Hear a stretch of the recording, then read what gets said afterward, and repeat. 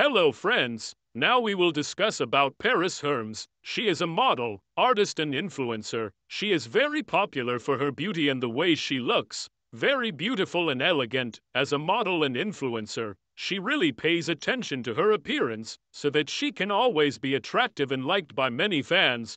Paris Herms comes from Berlin, Germany, has black and long wavy hair. She also really likes sports and swimming so she can always look healthy and fit. On her Instagram social media account, she has hundreds of thousands of fans. She is also active and shares stories and daily activities. Started his career as a model from a young age. He has learned a lot from everything he has experienced. In his appearance, he also has many tattoos on his body and has had several operations on body parts he likes.